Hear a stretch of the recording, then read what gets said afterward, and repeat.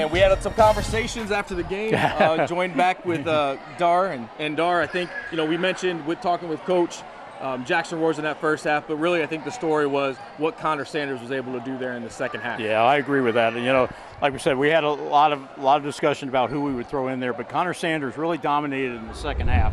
First half on rebounding, but already you know USV's picked up two of them here in the second half. Underwood kicks it out to Stevens, goes down low once again to Sanders. Sanders, great job working with his back to the basket, able to put that one back in. Not going to get that many opportunities. That's a 19 to 5 advantage in the third quarter for uh, USV. Connor Sanders working against Jameer Daniels. Connor Sanders is feeling it tonight. That one off the glass for two. Good job by Zamir Daniels. Knocked that one loose, but it ends up back in the hands of Connor Sanders. And tonight, that is not who you want to have the basketball.